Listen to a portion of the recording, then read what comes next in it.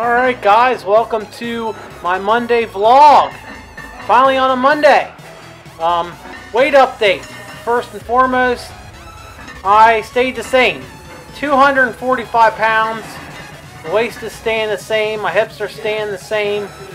So no big whatever there. So, so hopefully, you know, I, I don't know. After that big five pound loss, I'm hoping that maybe you know, this week we can get to move a little bit more. You know, and I, I just want to say the way the scale did say 244 and a half, but I'm not I'm not taking that. I, no half pound bullshit. I, I want I want to get it. I want to I want that whole pound. You know, I'm fighting. I sweat my butt off. I'm going hard with the hit cardio and stuff. So I want to see that. I want to see pounds come off. I just don't want to see.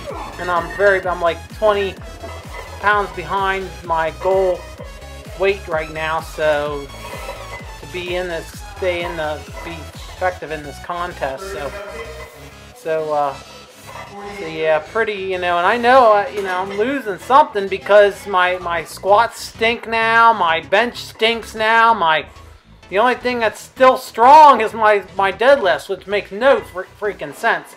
But yeah, so.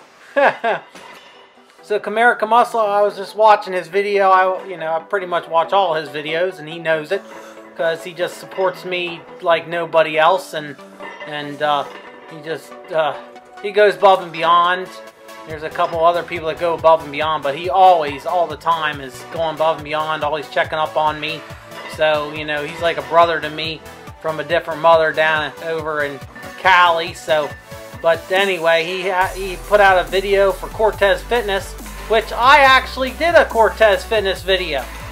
You know, I I you know that's that's one thing I bring to my channel is I'm spotlighting people.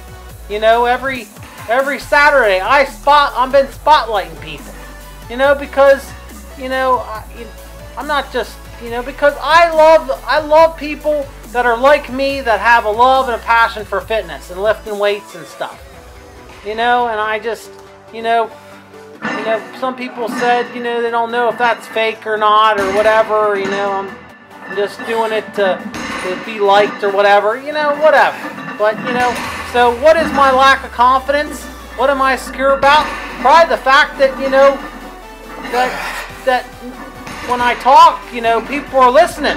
You know, that people give a shit of what I have to say because I've been, been, you heard it a million times on my channel. If you're new to my channel, I, you know, I've been bullied, picked on, harassed pretty much my whole life. And I've been told, sit down, shut up, Brent, nobody cares what you have to say.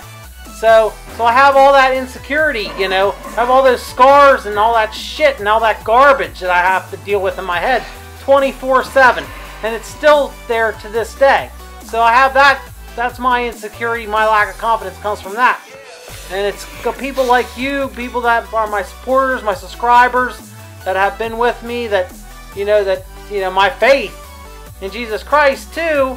But, you know, it's you guys too, the, my support team, my support group, you know, that stick by me and comment, make, you know, tell me to keep going. You're doing great. You guys are, you know, you just, you know, you make those scars and that, that, that mental just so much more easier, you know, and for me to come out and be myself. So thank you guys so much. I hope this was, you know, hope you enjoy this this uh, PR, man. This this tremendous 520 pound PR with no straps. God bless you guys. I love you all for supporting me, for being me.